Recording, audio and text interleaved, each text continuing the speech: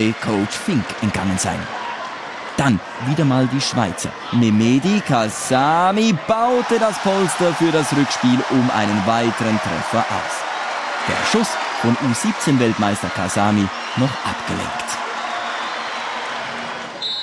Und dies war der Schlusspunkt